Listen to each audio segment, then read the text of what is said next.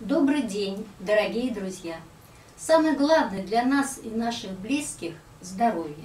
Поэтому о нем надо заботиться правильно, ориентируясь на проверенные, обоснованные способы лечения и предупреждения болезней.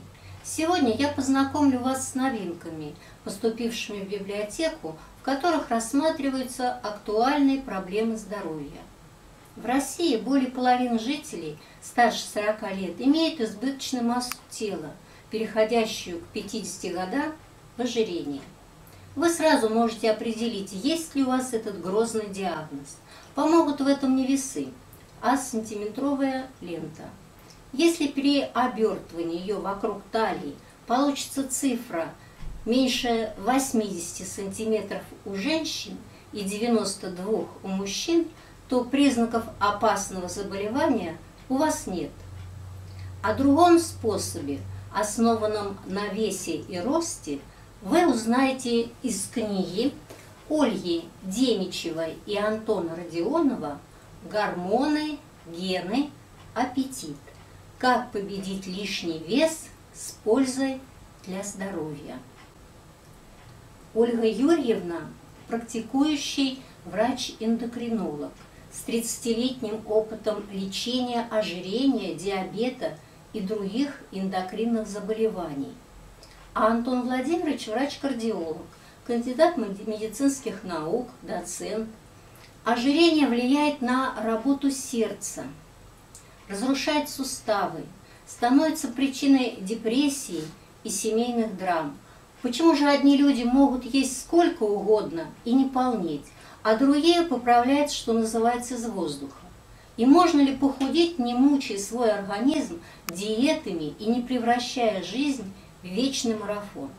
В этой книге вы найдете новейшие медицинские знания и практические рекомендации, как нужно питаться, чтобы жить с удовольствием, не страдая от голода и от переедания. Прочитав эту познавательную, увлекательную и нужную книгу, вы научитесь распознавать риски лишнего веса для своего здоровья и получите в руки оружие, которым можно его победить.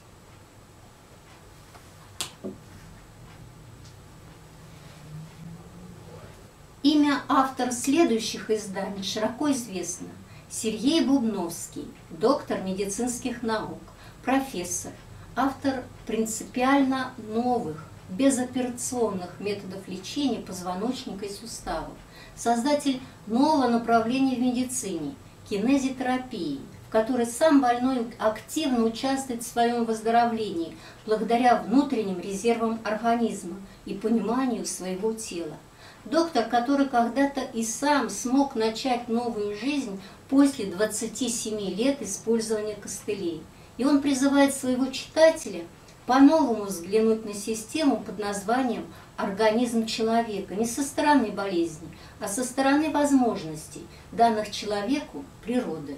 В своей книге «Кинезотерапия на каждый день» 365 советов доктора Бубновского он дает полезные советы тем, кто хочет сохранить или восстановить свое здоровье. Автор рассматривает основные ошибки – которые возникают при неправильном или необдуманном подходе к физическим нагрузкам, и дает рекомендации, которые помогут восстановить здоровье суставов, позвоночника и сердечно-сосудистой системы без лекарств и операций. Советы, которые содержатся в этой книге, будут полезны для всей семьи, мужчинам и женщинам трудоспособного возраста, молодым родителям, людям старшего поколения. Заниматься здоровьем – необходимо в любом возрасте, а советы доктора Бубновского помогут читателям делать это правильно. Девизом очередного издания Сергея Бубновского «Домашние уроки здоровья, гимнастика без тренажеров» стали слова «Ни дня без упражнений». Перед вами надежный помощник для тех, кто понимает, что движение – это жизнь, Специально разработанные системы упражнений от Бубновского можно выполнять при помощи простых вспомогательных средств дома, во время отпуска или длительных командировок. Для удобства читателя тренировки собраны в разделы, охватывающие все основные группы суставов, связок и мышц. Первая группа – это для коленного, тазобедренного и голеностопного сустава. Вторая группа для брюшного пресса и поясничного отдела позвоночника. И третья для мышц пояса верхних конечностей. Каждое упражнение сопровождается подробными сведениями о показаниях и противопоказаниях, что с легкостью поможет избежать спортивных травм. В книге рассматривается также, какие упражнения, сколько, как, в каком количестве необходимо делать. Не хотите закончить жизнь дистрофией, выполняйте их регулярно, несмотря на свое состояние. Эта книга призвана стать карманным доктором каждого, кто хочет вернуть и сохранить здоровье на долгие годы.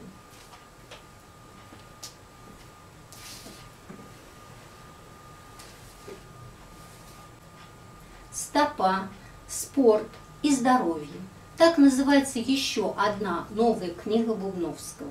Стопа и голеностопный сустав – главный рессор тела и главный амортизатор.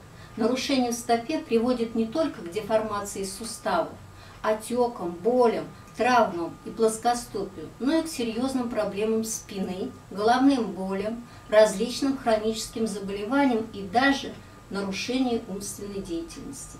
Сергей Михайлович рассказывает, как восстановить здоровье стопы и сохранить на долгие годы, как снимать усталость, боли и отеки в ногах после трудового дня, какие травмы голеностопного сустава чаще встречаются?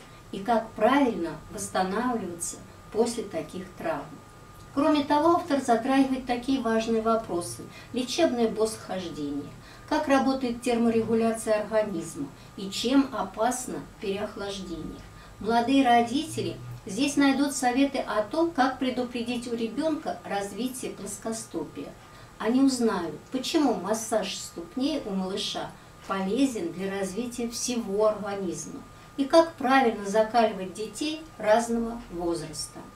В общем, здоровая стопа – основа здоровья всего организма. Правильный уход за ними необходим каждому человеку с момента рождения и на протяжении всей жизни – Автор подробно описывает, как обеспечить такой уход людям разного возраста при различном состоянии здоровья и в разных жизненных ситуациях.